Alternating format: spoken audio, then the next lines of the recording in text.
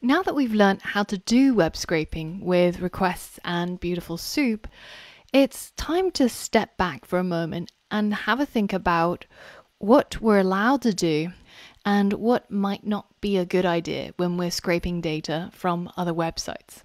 Because after all, we don't own that data, right? When you think about services like Google or Bing or any other search engine, essentially what they're doing is they're constantly scraping data from all of the websites that are listed on the internet. And that's how they manage to get the information about what's on each page and for it to show up for users who use their search service. Now, we have to step back for a moment and think about what is the law on web scraping? What is legal and what is illegal? Even as we were looking at Hacker News just now, I noticed that one of the articles, in fact, talks about the Genius lawsuit with Google. And in terms of recent history, there's two really famous cases, which is Genius suing Google because they're saying that Google is scraping the song lyrics from their website and they're actually displaying it without taking people to Genius. So, for example, if we're looking at the lyrics for Code Monkey, you can see that Google automatically shows the lyrics straight inside of Google.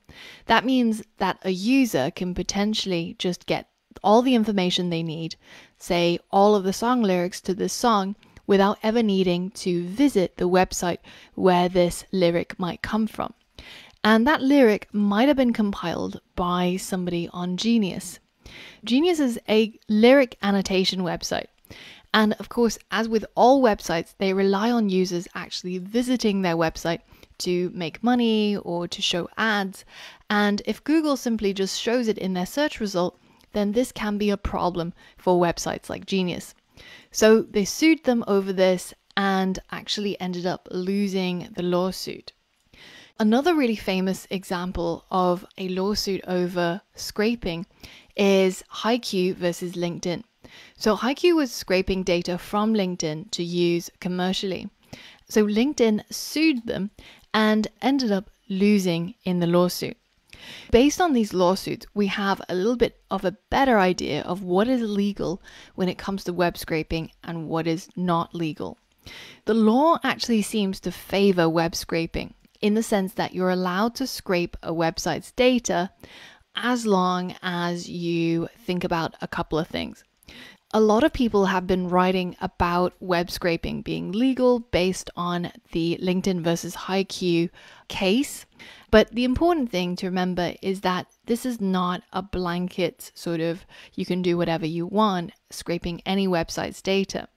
It only means that data that is publicly available and not copyrighted is probably legal for companies to scrape. Now, if you're using this data privately, like we are creating some sort of service for ourselves, then it doesn't really matter. You're just a user. The difficulty comes when you're trying to commercialize that data, when you set up a business and your business kind of involves somebody else's data. That is a bit of a gray area. Now, the things that we definitely know are that you can't commercialize copyrighted content.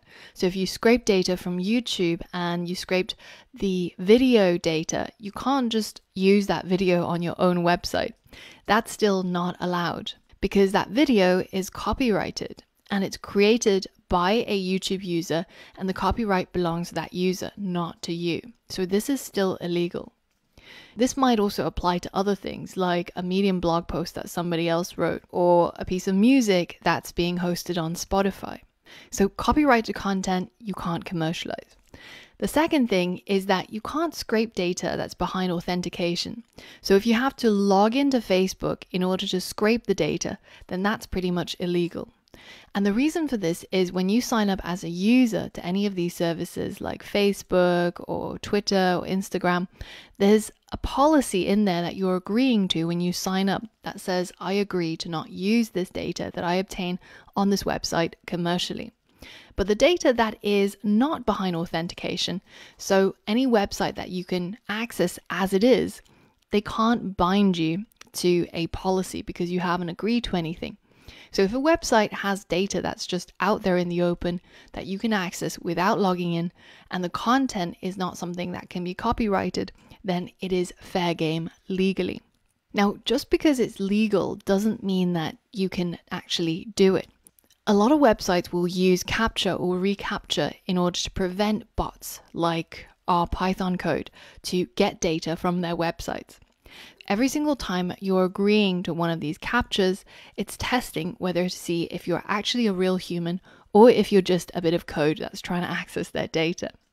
CAPTCHA was the old version where you had to type in some squiggle letters, and reCAPTCHA is the new version where you just have to tick a checkbox. And it's actually really interesting how it works. It looks at things like how your mouse approaches the checkbox, how you maybe quiver a little bit before you actually check it, and other things like your cookies and the stored data that they have on you. Essentially, this service is used by websites to prevent people to scrape their data using a bot. The other thing to remember is that, you know, if you get sued by somebody like LinkedIn because you're using their data and you're building a business on it, like HiQ is, then you can at any moment be hit with a really expensive lawsuit and you're going to have to pay a lot of money to lawyer up in order to contest this and actually to fight them in court. Unless you have the money to lawyer up and fight a company like LinkedIn, it's really important to know what are the implications of web scraping, especially when you're selling that data as a part of your business. But in addition to the sort of legal side of things, the other part that you should really think about is the ethics of web scraping. This is basically putting aside what is legal and what is illegal, but more thinking about what is right and what's wrong. Because let's say that you've built a website and you've got some sort of bot that's constantly scraping it for data, data that, you know, has been generated by your own users that's really precious and that you might even charge for. Then is it really right for somebody to do that? So I often follow the rule where if I don't want something to happen to me, I try to not do that to others. In terms of the ethics, a couple of things that I would recommend abiding by is if you come across a website and they have a public API, which we've already learned about and we know how to use, then always, always go for the API. If it requires an application, then apply for it.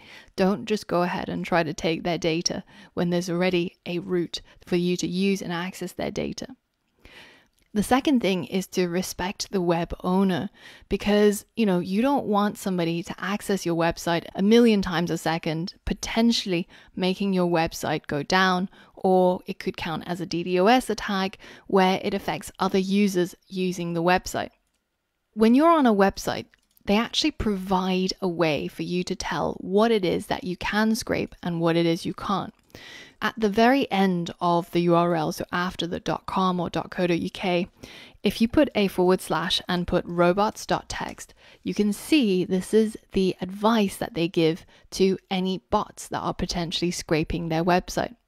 User agent is the person who is scraping, the person or the bot that's scraping and it tells you what are the things that it disallows. So it doesn't want you to access the forward slash vote, forward slash reply, forward slash submitted, forward slash thread. So basically, any of these endpoints are ones that they don't really want you to use.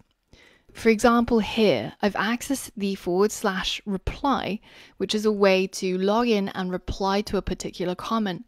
Now, that really shouldn't be a bot kind of action because then it means the data that's generated, all the replies on here will be automated, right? You actually want humans to comment and reply on the articles rather than some sort of robot.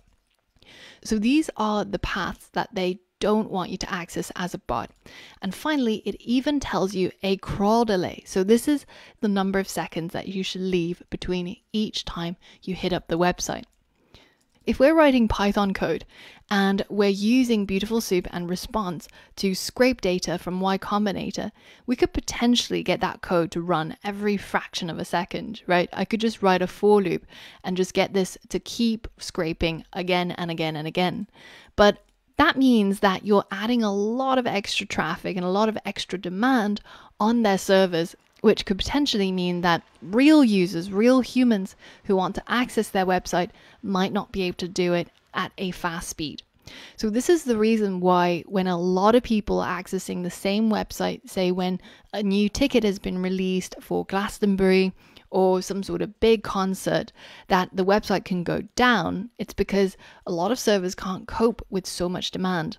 And when that demand is coming from a for loop, then you can imagine that you're just adding a lot of extra work onto the web server. So, always respect their crawl delay if you see one in the robots.txt and even if you don't see one, just try to limit your rate so that you don't max out their server. I recommend not scraping more than once a minute. The Y Combinator robots.txt is actually quite permissive. It allows you to do pretty much anything you want, but that's not true for all websites. If you look at the robots.txt for LinkedIn, you can see that they really don't want anyone to scrape it. There's a bit of legal jargon here, there's a lot more disallows that you can see, right? This is probably not a website where I would scrape their data and try to build a company around. So remember that this is a piece of text that the website owners have written for you to look at to see what you can do and you can't do with their website. So before you scrape a website, always go to the root of their URL and check out their robots.txt and follow the ethical codes of conduct when you're trying to commercialize a project. So, this is just a quick tip on the law and ethics of web scraping, just so that you don't get into trouble in the future.